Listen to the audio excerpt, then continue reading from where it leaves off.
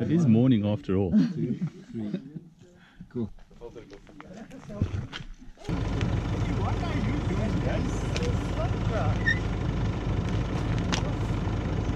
Now the, the fun starts